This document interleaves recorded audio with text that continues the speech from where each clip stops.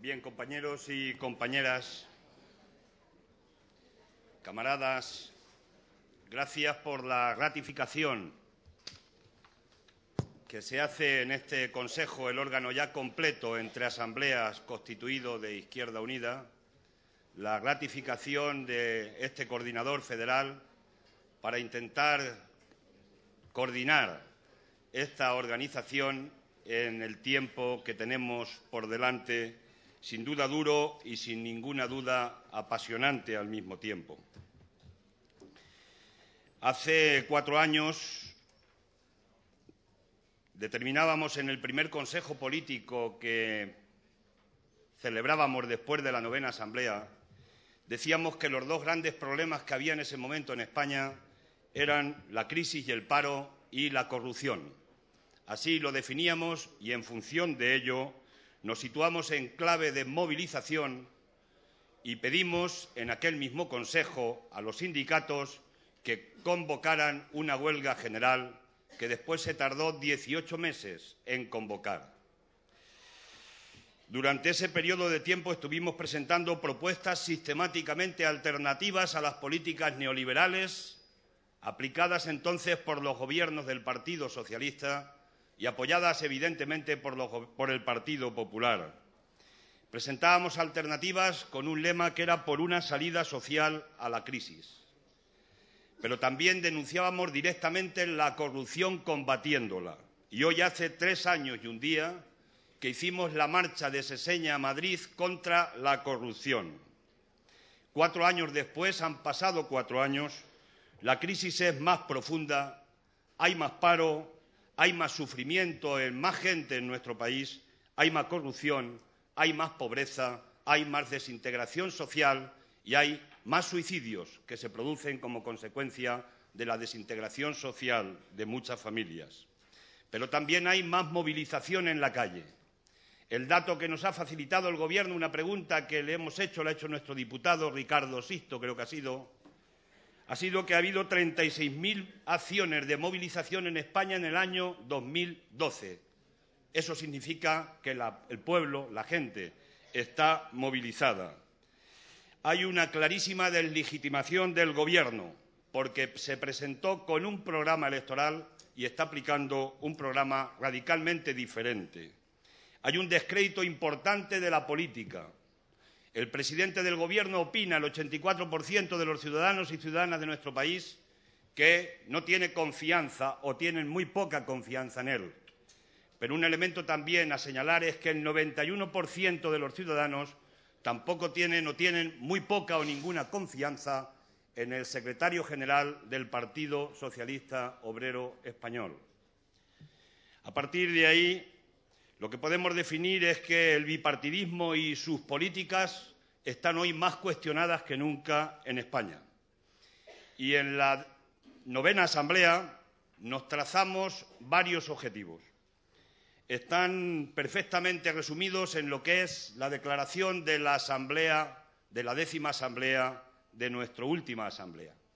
Esta declaración recoge perfectamente, me imagino que la tenemos que tener casi como, como folleto de cabecera, la tenemos que tener porque está sintetizada, yo creo que es la andadura que tenemos que hacer en este tiempo que entra. Pero sintéticamente veníamos los objetivos que fijamos en esta décima asamblea ya y que están aquí recogidos eran organizar la rebelión democrática, construir la alternativa para conquistar el poder. Es una declaración importante y este Consejo, en la parte que nos toca a nuestra organización, es el que tiene en sus manos la posibilidad de ayudar, de contribuir a que esto lo hagamos posible en el tiempo que viene junto con el conjunto de la organización y la gente que quiera estar en un proyecto alternativo anticapitalista, claramente antineoliberal. Decimos en el tercer párrafo de esta declaración que queremos organizar un bloque social y político que pivote sobre un programa político transformador, dispuesto a gobernar desde el interés de la mayoría social, trabajadora, para que el pueblo tome en sus manos su propio destino. Eso es literal, y por tanto es una frase importante, la última, para que el pueblo tome en sus manos su propio destino. Esa, contribuir a eso, es la tarea de este Consejo en el tiempo que viene. Tenemos y planteamos hoy aquí, más que un, análisis de coyuntura, incluso tres objetivos inmediatos, que son luchar contra el paro y crear empleo, primer objetivo de esta organización. El segundo, combatir la corrupción político-empresarial. Y el tercero, llevar el Parlamento a la calle. Para conseguir estos tres objetivos tenéis en vuestras carpetas tres documentos. El primero, que es una estrategia para crear empleo, estimular la economía y la integración social. Es un documento completo, muy importante, y que desgranaré brevemente a continuación. La segunda propuesta es una propuesta contra la corrupción y que se ha plasmado en el Congreso de Diputados con la presentación de una proposición no de ley el lunes el viernes la presentación de una proposición de ley para hacer, planteamos un pleno monográfico que le planteamos también en esta semana al presidente del Gobierno para debatir sobre la corrupción y plantear alternativas concretas para luchar en serio contra la corrupción en nuestro país. Y lo tercero es constituir una comisión de investigación en el Parlamento. Y en el tercer punto, que también lo tenéis en la carpeta, es llevar a la calle el debate sobre el Estado de la Nación. Se va a producir el día 20 y 21 del mes de febrero. Y desde aquí ya hoy, si queréis, y así lo aprobamos, salimos para convocar a la gente, a las plazas, a los locales, a donde podamos en cada uno de los territorios y las ciudades de nuestro país, a convocarles para que debatan sobre el debate del Estado de la Nación, de tal manera que las conclusiones que surjan de ese debate público sean las que podamos llevar el día 20 y 21 al Parlamento en el debate sobre el Estado de la Nación, si todavía para entonces Rajoy sigue siendo presidente del Gobierno.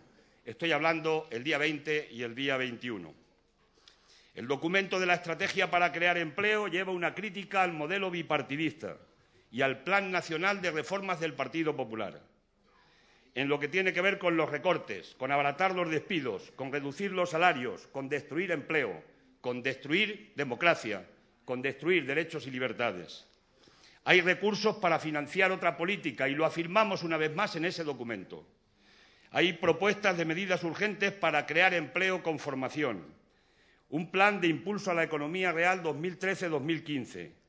Derogar la reforma laboral. Mejorar los servicios sociales creando empleo impulso al empleo juvenil, apoyo a la economía social y a las pymes, reformas de políticas en la Unión Europea, plan contra la pobreza y la exclusión social y ayuda a los ayuntamientos y, sobre todo, la puesta en marcha de las líneas fundamentales para crear un nuevo modelo productivo en nuestro país.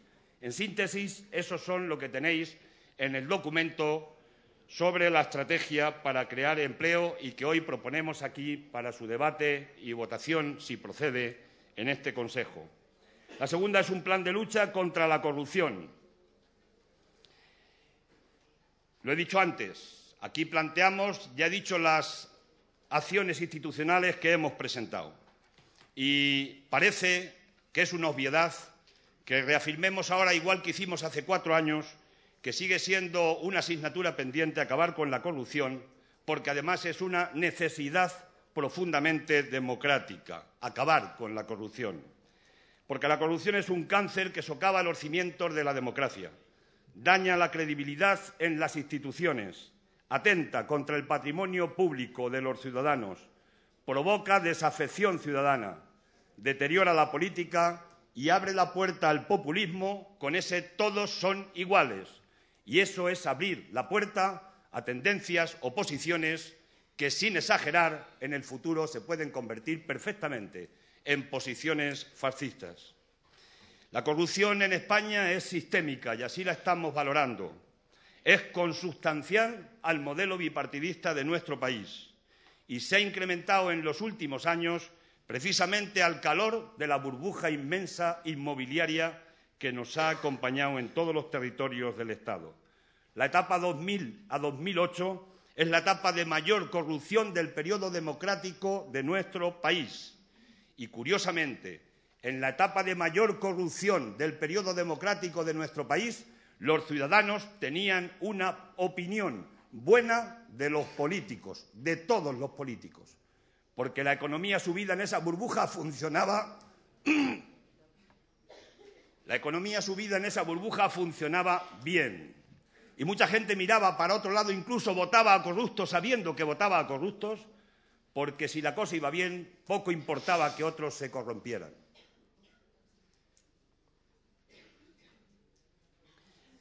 Evidentemente, con el estallido de la burbuja y el incremento de la crisis la destrucción de empleo, automáticamente ha cambiado el angular. Y la gente sitúa el foco en los políticos. Algunos son capaces de separar a unos de otros, otros, desgraciadamente, todavía no quieren o no saben o no pueden separar a unos de otros. Lo cierto es que nosotros planteamos que no hay una clase política, que hay políticos y políticas que defendemos distintos intereses de clase y, por tanto, nada tenemos que ver los que estamos aquí hoy en este Consejo con los que están sentados esta mañana en Génova analizando sus miserias. No tenemos nada que ver. Representamos a valores y a clases diferentes en nuestro país. Es una obviedad que lo digamos aquí, en esta casa. El proceso de corrupción se ha producido con recalificaciones y concesiones de obras y servicios fundamentalmente de manera irregular a cambio de comisiones que en América Latina le llaman mordidas, financiación irregular de partidos políticos, enriquecimientos personales, fraude fiscal y una inmensa estafa al conjunto de los ciudadanos. Está salpicada la Casa Real y cada vez más profundamente. Salpicados los gobiernos de comunidades autónomas como Baleares, como el País Valenciano, Madrid y Cataluña. Diputaciones provinciales, ayuntamientos. Los casos nos suenan los vivimos, los sufrimos y los padecemos. Urdangarín, Pokémon, Campeón, Palau Música, Pallerols, Guerrero, Fabra, Matas, Baltar, Eres, Gürtel, Bárcenas, anteayer Filesa. Hay muchos casos que están asolando el conjunto de nuestro país y que son los que han llevado a ese descrédito, repito, de la política que como todo el mundo sabe es un arte noble donde se viene a servir lo público y a los ciudadanos y ciudadanas, no a servirse y mucho menos a servir intereses espurios de otros. En este proceso ha habido corrupciones personales, enriquecimientos personales, pero también la financiación irregular de partidos políticos ha sido una piedra de bóveda fundamental para provocar lo que podemos hablar en grandes líneas de la alta corrupción en nuestro país. El caso Bárcenas ha estallado, le ha estallado al Gobierno, en la cara del Gobierno, del Partido Popular y del Gobierno. Pero quiero hacer una breve reflexión, si queréis, sobre el caso Bárcenas. En el 2009 se produjo, en mi opinión, un gran acuerdo de familia. Se reunió la familia porque habían pillado a un miembro de la familia implicado en la Gürtel y aquel miembro de la familia dijo que él no podía pagar solo lo que era una responsabilidad de mucha más gente. Por eso tuvieron que hacer un acuerdo de familia. Y por eso se sacó un comunicado por el Partido Popular en el 2009 que todo eran parabienes para la persona que había sido el tesorero del Partido Popular y que estaba en el objetivo de la justicia en ese momento. La prueba de que todo fueron parabienes y fue un pacto hecho de familia es que al presunto delincuente le dejaron un despacho, una secretaria, un coche y hasta un aparcamiento en la misma sede del Partido Popular. Y además en la primera fase le pusieron un abogado a su servicio. Si esto no es un acuerdo de familia, ¿qué interpretación podemos hacer? El conocimiento de que hay una cuenta en Suiza con 22 millones de euros a nombre del extesorero del Partido Popular ha roto el pacto de familia. Alguien ha investigado además o alguien se ha chivado demasiado dentro de la familia. Y a partir de ahí han aparecido los sobres en Génova, sobres invisibles porque nadie los recibía. Ahora algún periódico dice que sí se recibían o ahí están las anotaciones. ¿Quién paga esos sobres? Porque esa es la gran pregunta. ¿De dónde viene el recurso de esos sobres? ¿Son recursos lícitos o son ilícitos? Y tal vez en esa respuesta que ya empiezan a darse en pistas en medios de comunicación está la respuesta a lo que hemos determinado, lo que es la corrupción sistémica en nuestro país. Bárcenas tiene en su mano una bomba tiene una bomba desde el momento en que se hizo el pacto, desde antes de hacer el pacto y el acuerdo. Bárcenas probablemente se ha visto desamparado y ha puesto en marcha la bomba. Y la puso con una comunicación en un medio de comunicación, la primera, y se creó la primera alarma, pero no fue suficiente. Puso la segunda diciendo que había regularizado recursos en la cuenta de Suiza con la amnistía fiscal del Gobierno, pero ese no fue aviso suficiente para el Gobierno. Después, otro medio de comunicación ha publicado una lista de supuestos receptores y supuestos donantes y esto sí ha movilizado al Gobierno y ha movilizado al partido. Esta bomba ya ha hecho daño porque habrá más, se supone que habrá más. Y yo estoy entre los que supongo que aquí se ha vuelto a reforzar un nuevo pacto de familia, porque no puede pagar uno solo aquello que ha hecho ese en beneficio del conjunto de la familia. Y por eso la familia está muy preocupada muy movilizada. Y por eso ha habido un comunicado, digo que ha habido un nuevo acuerdo porque ha habido un comunicado del propio tesorero del Partido Popular que ha dicho que todo es mentira lo que han publicado los periódicos, aunque su letra esté puesta en eso que publican los periódicos. Ha vuelto a haber un nuevo acuerdo de familia. El tema es si lo van a poder aguantar o no lo van a poder aguantar. Rajoy está delegitimado por sus políticas, pero también por su responsabilidad si se prueba que eso es verdad, que tuvo como presidente del PP en el año entre el año 2004 y 2012. Todavía es presidente del PP. Y si los sobres han corrido por Génova y el presidente del PP no se ha enterado de que corrían tantos sobres y supuestamente algunos de ellos en sus propias manos, es que eran tan invisibles que era imposible que los viera el presidente. Malos servicios de información tenía dentro del aparato del partido. Por tanto, doble ilegitimidad, porque si además le ha mentido a los ciudadanos y además en sede parlamentaria negando cuestiones, no cabe nada más que un camino, que si eso es así, tiene que dimitir Rajoy y tiene que convocar elecciones anticipadas en nuestro país. Esa es la propuesta que os hacemos a este Consejo también de ratificación hoy.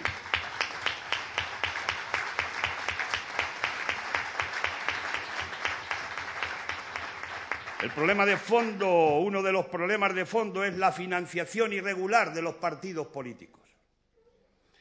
No se puede estar asfixiando a los partidos políticos de forma genérica, recortando un 40% que han recortado en los dos últimos presupuestos y poner la mano por detrás para que entren supuestos sobres de supuestas empresas que supuestamente han tenido concesiones administrativas donde gobiernan determinados partidos políticos. Eso es tramposo, ese no es el camino de la financiación regular y transparente de los partidos políticos, porque eso lo pagan los ciudadanos. Es tramposo que una presidenta de una comunidad autónoma que es secretaria general del Partido Popular le quite el sueldo a los diputados. Tal vez quieren que volvamos al sistema censitario para que los trabajadores y trabajadoras no podamos tener representación en las instituciones, para que la tengan únicamente los intereses de la clase pudiente de la clase poderosa, pero además para seguir alimentando la financiación irregular de los partidos políticos por la puerta de atrás, a cambio de hacer concesiones a las empresas que además compiten deslealmente con otras empresas que son honestas en el mercado en nuestro país, porque consiguen contratas y adjudicaciones y concesiones en función no del interés de la empresa y de la competitividad de la empresa, sino en función de a quién puede ¿Quién se puede llevar una mordida de la empresa? Por tanto, yo creo que aquí está el nudo gordiano. Y esto es lo que creo que debemos debatir y, además, si estamos de acuerdo en ello, defender en la sociedad. Quieren llevarnos al modelo americano de financiación. Quieren acabar con la financiación de los partidos políticos y que sean las empresas las que ya directamente financien a los partidos políticos. Si en Estados Unidos no acaban con el rifle, no solamente es por el empleo que crea la industria del rifle en Estados Unidos, es por los grandes intereses especulativos que se mueven en la carrera de armamento. ¿Y por qué? Pues porque esas empresas, como la empresa del rifle, están financiando a partidos políticos en Estados Unidos para sus campañas. Y cuando acaba la campaña, esos partidos políticos en los órganos de decisión están obligados a defender los intereses de esas grandes empresas, de multinacionales y de intereses oscuros contrarios al interés de los ciudadanos. ¿Por qué no adoptan una norma en Estados Unidos para... Podemos poner ejemplo en España el control de armas en España comparado con el control en los Estados Unidos. A ese nos quieren llevar y ese es el peligro porque eso es acabar con la democracia. y es dejar definitivamente, aunque ya sabemos que está en este momento concreto en manos de la Troika y del gran poder económico en nuestro país y el poder financiero, es ponerlo directamente en el boletín oficial del Estado, ponerlo al servicio de las empresas y del interés especulativo que no tiene nada que ver con el interés de los ciudadanos. Por eso tenemos que defender la financiación pública clara y transparente y justa de los partidos políticos, para que ejerzamos el papel que nos dice la Constitución y para que ningún partido político tenga que ir por la puerta de atrás a buscar recursos para poder financiar las estructuras que necesita para hacer política en nuestro país. Y en lo que tiene que ver con el debate del Estado de la Nación, llevar el Parlamento a la calle es la última propuesta. El debate no puede ser el debate del bipartidismo, el y tú más. Lo que le contestó Rajoy a Rubalcaba cuando le habló tímidamente de corrupción en la pregunta del otro día del miércoles al Gobierno, y Rajoy se levanta y le dice, aplíqueselo usted, señor Rubalcaba. Esta no puede ser la del y tú más, porque en el y tú más estamos en el juego bipartidista y eso es lo que está quebrado en este momento en nuestro país. Hay que demostrar que tenemos alternativa real a la crisis. Es necesaria y fundamental la participación, la organización de quienes se están movilizando cada día en la calle. Hay que abrir hacer un debate abierto en todas las federaciones y convertir el debate del Estado de, de la Nación, convertirlo en una censura a las políticas del Gobierno de Rajoy y pedirle que dimita y pedirle que convoque elecciones anticipadas. Y además con una resolución evidentemente de reprobación al Gobierno. Finalmente, creo que debemos estar, seguir en la movilización sin ninguna duda.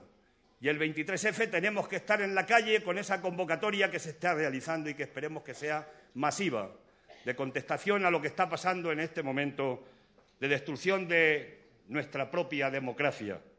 Por tanto, simplemente concluyo diciendo que ánimo, que tenemos que seguir con más intensidad, con más responsabilidad, con más trabajo, con más elaboración colectiva, con más crear ese bloque social que estamos planteando y político, tenemos que trabajar en el tiempo que viene para conseguir que esta modesta organización sea un referente, que sea útil a la transformación que necesita nuestro país frente a las políticas neoliberales que aplicaron ayer el Partido Socialista, que hoy defienden, aunque se cambien de chaqueta y se pongan muy rojos, pero que defienden fundamentalmente los principios esenciales del diseño de la Unión Europea, de esa estructura, de esa arquitectura de la Unión Europea, que es donde está el origen de la política que se aplica aquí, tanto por socialdemócratas o llamados socialdemócratas como por los conservadores.